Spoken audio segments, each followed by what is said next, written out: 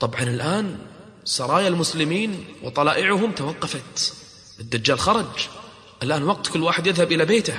هذه أعظم فتنة على وجه الأرض الآن خرجت. الآن هذه الفتنة التي أخبر بها النبي من سمع بها فلينأ عنها. يهرب. الآن الواحد خايف على أهله وعلى أولاده وعلى بيته. فيرسل المسلمون طليعة تتأكد من الخبر.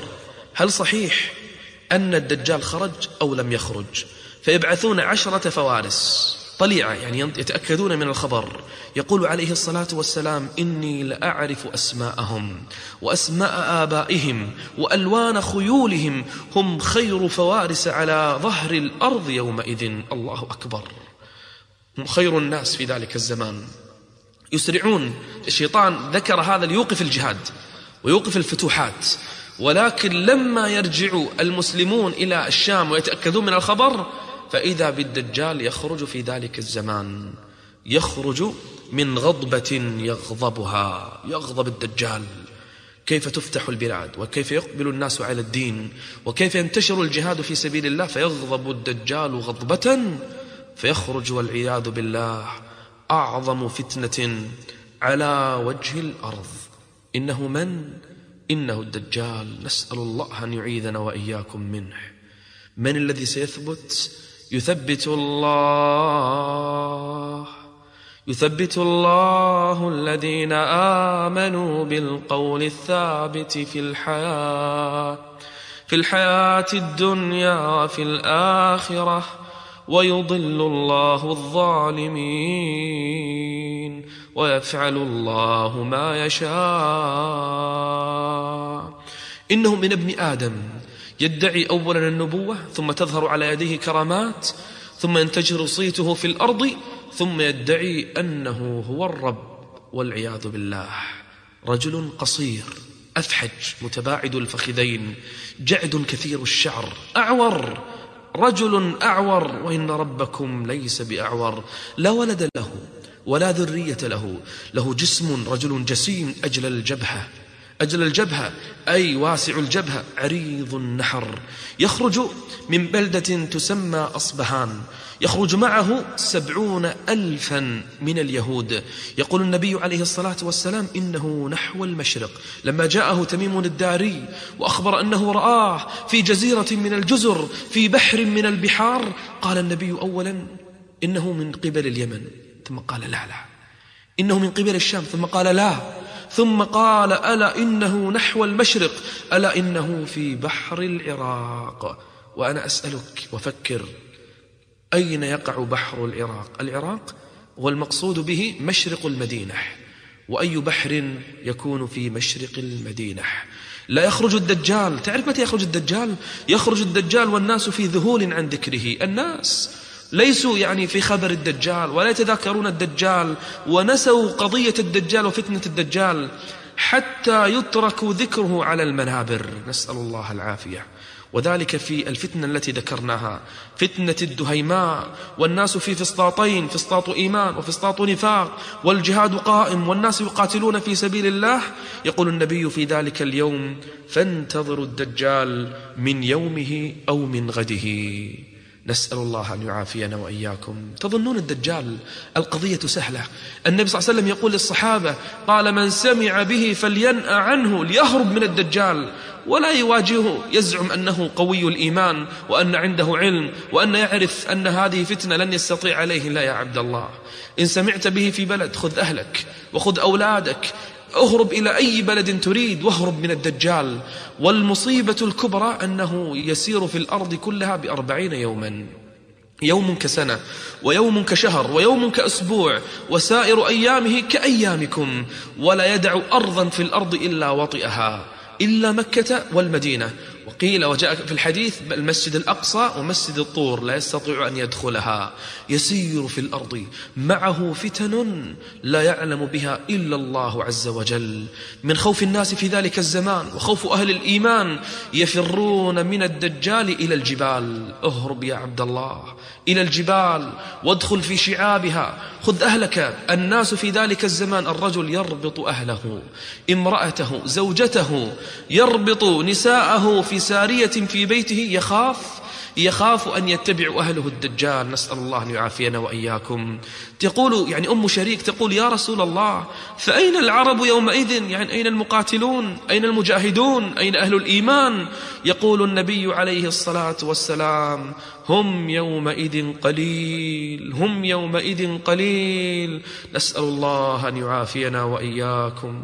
نسأل الله لا يفتننا فتنة الدجال. يقول النبي من سمع به في أرض فلينأ عنه. طيب لو لا قدر الله واجهني الدجال. لو رأيته لو جاء إلي وإذا بي أجده أمامي. ماذا أصنع؟ ماذا أفعل؟ أثبت يا عبد الله. الدجال خارج فيكم اسمع للحديث الدجال خارج فيكم. طبعا أول ما يظهر أمره خل بين الشام والعراق في طريق بين الشام والعراق ينتشر صيته.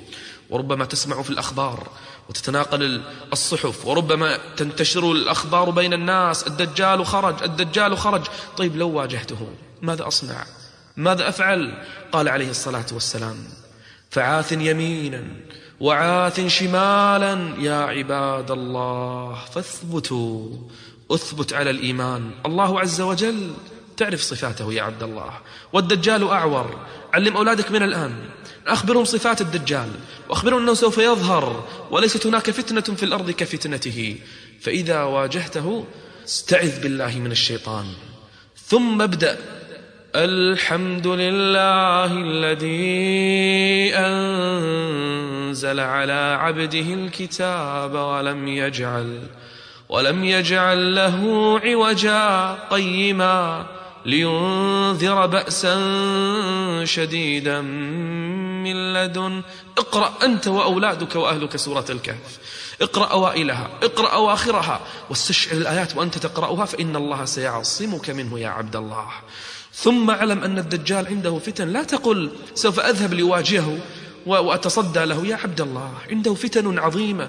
من فتنته انظر لبعض فتنه. من فتنه والعياذ بالله أن من آمن به رزقوا بالخيرات والثمار وأمطرت السماء. طيب هذه فتنة. ومن كفر به؟ من كفر به أجدبت أرضهم. وأمسكت السماء وأصيبوا بالفقر والجوع والعطش. طبعا الناس تتداول هذه الأخبار. تقول الناس من آمن بالدجال رزق بالخيرات ومن كفر به حرم من هذه الخيرات.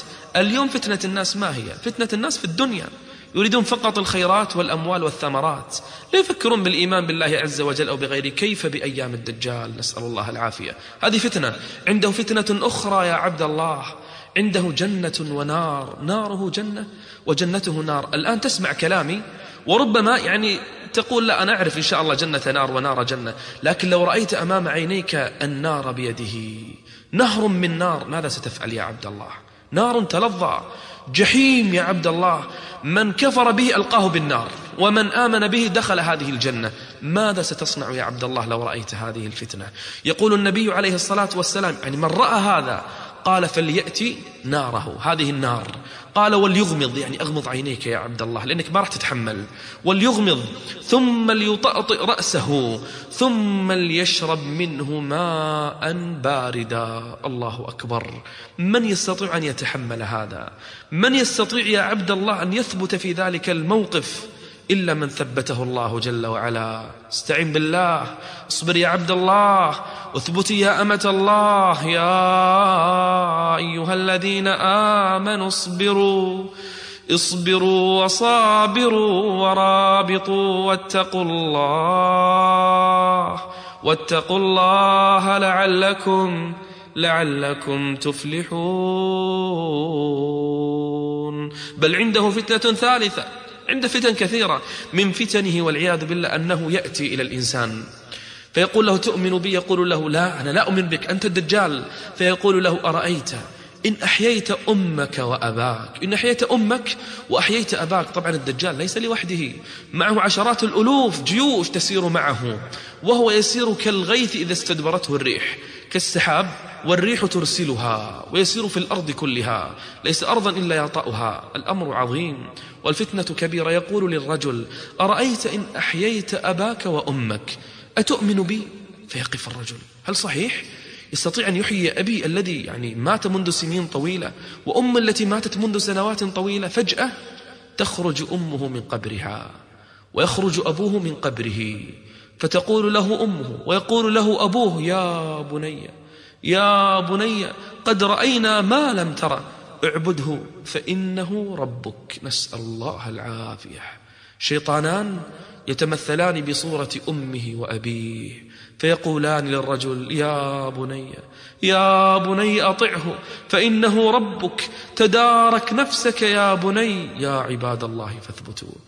يا عباد الله فاثبتوا فتنة في الأرض لا تمر على الأرض مثل هذه الفتنة. والناس يتحصنون بالجبال. تقول لي أين المجاهدون؟ لم لا يقاتلونه؟ تقول لي أين المؤمنون المرابطون؟ أين هم؟ أين هم؟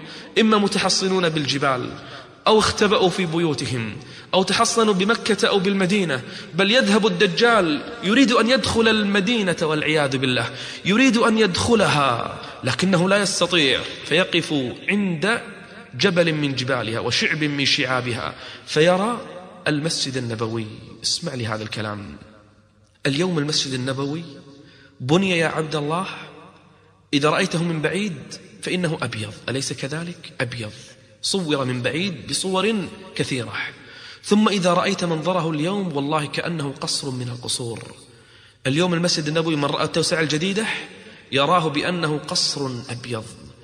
هذا الوصف هو الذي سوف يذكره الدجال.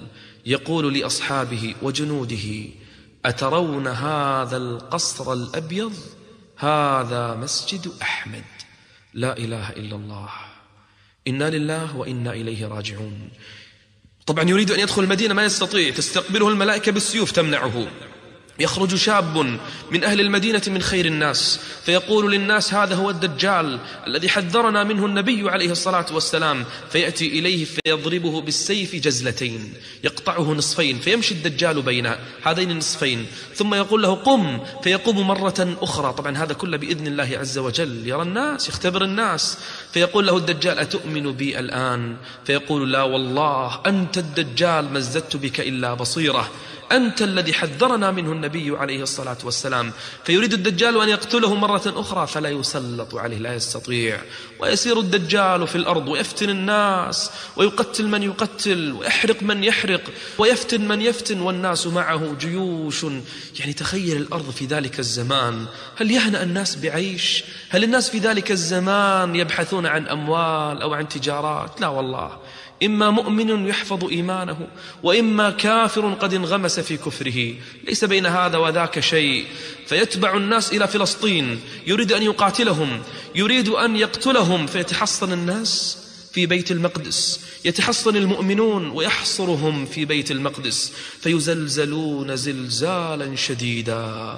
الآن يريد أن يدخل بيت المقدس ما يستطيع والناس قد زلزلوا وخافوا وارتجفوا. يعني ماذا يفعلون وماذا يصنعون؟ واليهود قد تجمعوا مع الدجال في فلسطين يريدون أن يقتحموا بيت المقدس. والمؤمنون فيه كل قد حافظ على دينه يريدون القتال في سبيل الله. وهم في ذلك الوقت قد تجمع بعض المسلمين وكثيرون منهم قد تجمعوا في دمشق يفكرون بالجهاد الآن ويريدون القتال يريدون أن يتحصنوا مع بعضهم البعض ماذا يصنعون؟ ماذا يفعلون؟ والمهدي في ذلك الزمان معهم وهم في ذلك الوقت قد أذن الفجر ويصلون عند المنارة الشرقية في الجامع كما قال بعضهم في الجامع الأموي الآن الذي هو موجود بالشام قد الناس توافدوا لصلاة الفجر والمؤذن قد أذن. الله أكبر الله أكبر. في ذلك الزمان إما أنت من أهل صلاة الفجر وإما أن تكون من أتباع الدجال والعياذ بالله أو ربما تكون من أهل يعني النفاق والضلال. فإذا بالناس يتوافدون إلى صلاة الفجر فإذا بهم يسمعون أن الغوث قد جاءكم.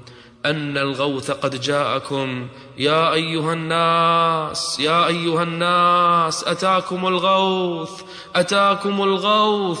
فيقول الناس ما الخبر؟ ما الخبر؟ فإذا بعيسى ابن مريم ينزل على أجنحة ملكين. الله أكبر والناس تنظر. من هذان الملكان؟ ولم ينزلان الآن علينا؟ إن على أجنحتهم عيسى ابن مريم. قال الله جل وعلا وإن من أهل الكتاب إلا ليؤمنن به إلا ليؤمنن به قبل موته ويوم القيامة يكون عليهم شهيدا أين الدجال الآن؟